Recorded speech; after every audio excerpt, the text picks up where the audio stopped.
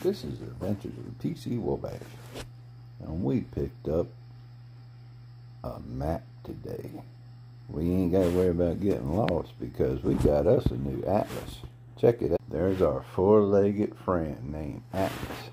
We're introducing him to all sorts of new stuff today. But right now, we're watching the Florida Everglades. So he's seeing turkeys for the first time in his life, bears. This is uh, Tim Harold. He does some YouTube videos on Florida. Atlas, he's watching TV. He ain't never seen a TV or a deer or nothing. So, he's getting broke in today. Well, if you like it, say hello to Atlas. And we'll have more adventures later on. Oh, there goes a big deer.